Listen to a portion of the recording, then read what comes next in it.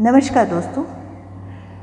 मैं अपनी पिछली वीडियो में शक्तियों का वर्णन करती आ रही हूँ और इस वीडियो में मैं मनुष्य शरीर में पाई जाने वाली सातवीं शक्ति के बारे में महत्वपूर्ण जानकारी देने लगी हूँ।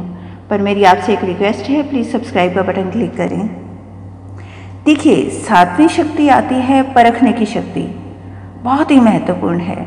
जिस इंसान के अंदर ये शक्ति होती है, उसकी परखने की पावर इतनी अद्भुत होती है।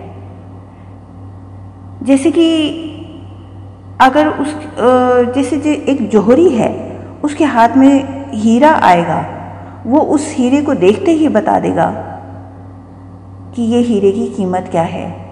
और वही हीरा अगर किसी साधारण इंसान के हाथ में आ जाए, वो उसकी वैल्यू नहीं लगा सकता। क्योंकि परखने की जो शक्ति है हीरे को वो जोहरी के पास है।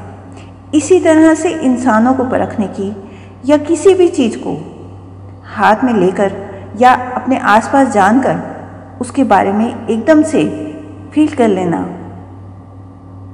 कि ये कोई बात है, कोई पावरफुल है। इसे कहते हैं परखने की शक्ति।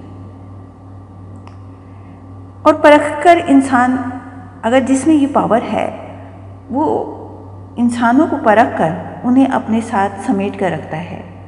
जैसे कि अकबर था, अकबर ने अपने नौ रत्न उन्हें परखा। उनको देखते ही उसे लगा कि ये अद्भुत हैं।